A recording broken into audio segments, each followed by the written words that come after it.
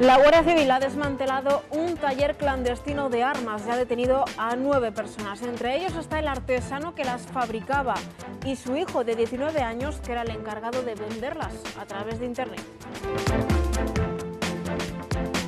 Las fabricaban en el trastero de su casa ubicada en esta zona de Torrelago.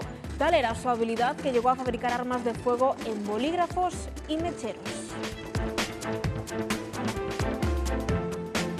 ¿Qué tal? Muy buenas noches. Ante los resultados obtenidos hasta la fecha, el Ministerio de Defensa ha decidido suspender la búsqueda en superficie de los cuatro desaparecidos en el accidente de helicóptero ocurrido hace dos semanas en Canarias.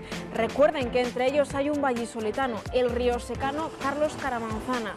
Ya no se continuará la búsqueda por mar y aire, pero sí se está negociando con empresas especializadas en rescates en aguas profundas. 588 vallisoletanos encontraron trabajo en marzo. Aún así, en las listas de Lecil siguen apuntadas más de 51.800 personas en nuestra provincia. Los sectores que más empleo han creado, servicios y construcción.